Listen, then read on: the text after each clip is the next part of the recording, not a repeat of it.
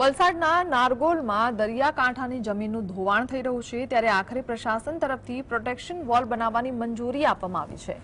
આ જાહેરાત બાદ નારગોલ અને માછીવાડ ગામના દરિયાકાંઠામાં વસતા લોકોમાં ખુશીનો માહોલ છે નારગોલ અને માછીવાડમાં દરિયાકાંઠાની મોટા ભાગની જમીન દરિયામાં ગરકાવ થઈ ગઈ છે ગયા વર્ષે જીએસટીવીએ એક અહેવાલ પ્રસારિત કર્યો હતો જેમાં દરિયાઈ ધોવાણ સામે ઝઝુમી રહેલા ગ્રામજનોની વ્યથા દર્શાવી હતી છેલ્લા પાંચ વર્ષમાં માછીવાડ ગામની મોટા ભાગની દરિયાકાંઠાની જમીન દરિયાના પાણીમાં ધોવાઈ ગઈ છે જીએસટીવીને આ અંગે પ્રસારિત કરેલા અહેવાલની અસર થઈ હોય તેમ લાગી રહ્યું છે જમીનના ધોવાણને અટકાવવા માટે તંત્રે પ્રોટેક્શન વોલ બનાવવાની મંજૂરી આપી દીધી છે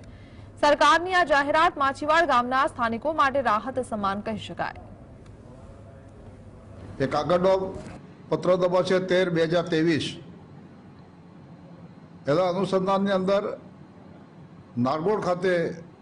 અત્યારે દરિયાઈ ધોવાણ ખૂબ થઈ રહ્યું છે. સતત અમે રજૂઆત કરતા રહ્યા છે. એના કારણે બાર કરોડ રૂપિયા, બાર કરોડ રૂપિયા એમાં મંજૂરી મળી ગઈ છે. મંજૂરીની અપેક્ષાએ સીઆરજેડની અપેક્ષાએ બાર કરોડ ઓગણસાઠ લાખ રૂપિયા જેટલી રકમ એ મંજૂર